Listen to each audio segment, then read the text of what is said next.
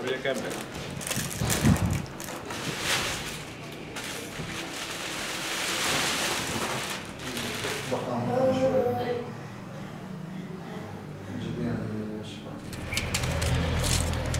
العصبية المجانية في في ريف حمص الشمالي تم إنشاء الصيدلية العصبية المجانية في منتصف 2015 آه، بالشهر الخامس تقريبا الصيدلية العصبية آه، المجانية مسؤولة عن تقديم الدواء المجاني لكافة المرضى العصبيين ومرضى. آه، الاختلاجات والصرع في كافة الريف ريف حمص الشمالي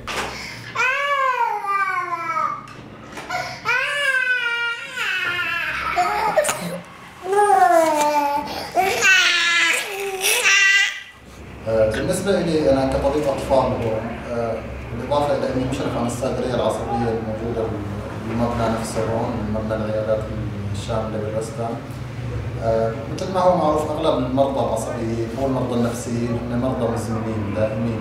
يعني معظم المرضى مشخصين من قبل أخصائيين أمراض عصبية وموثقين لدينا يعني مكتوبين وأدوية تتناول بشكل دائم يعني مأخوذة منهم. هلا والحمد لله يعني من خلال الممارسة صار عندنا خبرة نوعا ما يعني من خلال ممارستي القديمة وممارستي الجديدة بهالمرضى هذول. ممكن أنا أمشي كثير من الحالات هون. عندي واذا صعب علي الأمر بطلب استشارة أخصائية الأمراض العصبية نحن.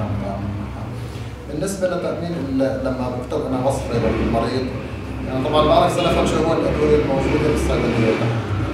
آه، مع هيك إذا كان في دواء اضطراري وما موجود عندنا نحن بنوجه المريض إنه هذا الدواء غير موجود بتوجه المريض يعني نحن أهم شيء عندنا مصداقية المريض إنه يأخذ الدواء المناسب ما بنسير المريض حسب الدواء الموجود عندنا لا. المريض بيأخذ الدواء المناسب إذا توفر عندنا بيأخذه إذا ما توفر بيجيبه مع العلم إنه حوالي 90% من الأدوية موجودة الحمد لله.